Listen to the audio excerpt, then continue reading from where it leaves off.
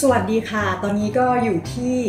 The Goose Cafe อุบลราชธานี ครั้งนี้เป็นครั้งที่2เลยที่มาพัก ครั้งแรกมาพักเพราะว่า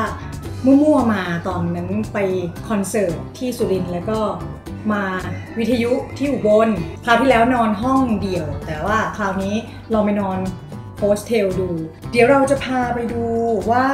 บรรยากาศเป็นยังไงสำหรับคนที่อยากจะมาเที่ยวแล้วก็แบบเจอเพื่อนใหม่ๆอะไรอย่างเงี้ยค่ะบรรยากาศห้องนอนอะไรอย่างเงี้ย แต่ตอนนี้ขออนุญาตกินอาหารเช้าก่อน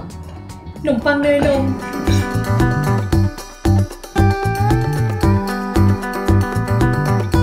นี่ก็คือด้านหน้าของ The Goose Cafe and Hostel ค่ะ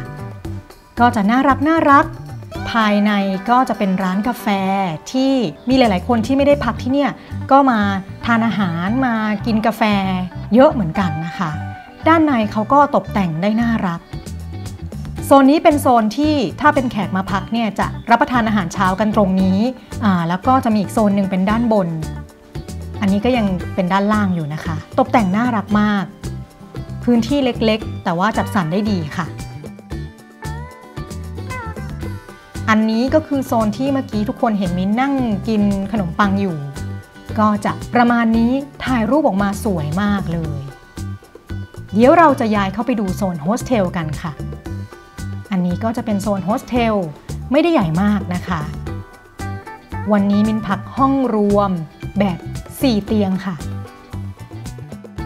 จริงๆแล้วนี่ต้องมาพากย์ทับเพราะว่าพูดอะไรไม่ได้เนื่องจากยังมีคนนอนอยู่นะคะ จะมีเตียงล่าง 2 เตียงบน 2 มินได้อยู่เตียงชั้นบนค่ะ นี่ก็คือวิวจากที่เรามองชั้นบนลงมา ฝั่งตรงข้ามก็จะมีเลขที่ของเตียง อันนี้จะเป็นห้องน้ำนะคะ สะอาดพอสมควรค่ะ แต่ก็ต้องลุ้นว่าเราได้พักกับใครด้วยเนาะเดี๋ยวขอส่งท้ายด้วยห้องเดี่ยวค่ะ อันนี้เป็นรูปที่มิ้นถ่ายไว้เมื่อครั้งที่แล้วที่มาพักนะคะ ห้องเดี่ยวเขาก็จะใหญ่เลยค่ะ นอนได้สองคน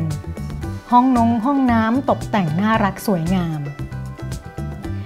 คลิปนี้ไม่ได้ถ่ายคลิปปิดมาเหมือนเดิม เพราะว่าเรารีบไปทำงานนะคะ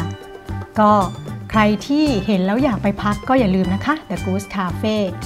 แล้วพบกันใหม่คลิปหน้า สวัสดีค่ะ